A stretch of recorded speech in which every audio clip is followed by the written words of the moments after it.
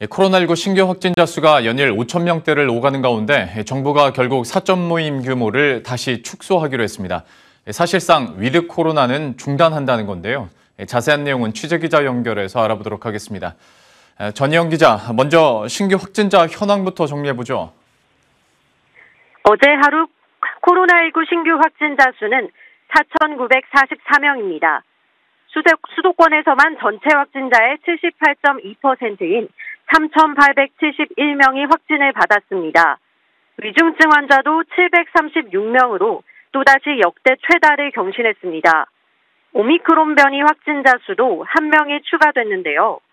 첫 번째 확진자로 밝혀진 40대 부부와 함께 사는 아들도 오미크론 변이로 확인된 겁니다. 지금까지 밝혀진 오미크론 확진자는 총 6명이지만 이들의 접촉자는 272명에 달합니다. 부부와 아들이 살고 있는 연립비라 거주자 7명 또한 검사를 진행하고 있습니다. 확진자 수가 5천 명대를 넘어서고 있는 상황에서 정부가 결국 방역 조치를 강화하기로 했죠. 네, 정부는 오는 6일부터 4주간 사적 모임 인원을 수도권 최대 6명, 비수도권은 8명으로 제한하기로 했습니다. 식당과 카페를 포함한 다중 이용 시설 대부분에 방역 패스도 도입하기로 했는데요.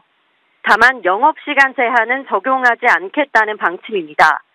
오미크론 추가 유입을 막기 위해서도 오늘부터 들어오는 모든 입국자는 열흘간 격리 조치합니다. 정부는 앞으로 한 달간을 특별 방역 점검 기간으로 정해 방역 상황을 관리하겠다고 밝혔습니다.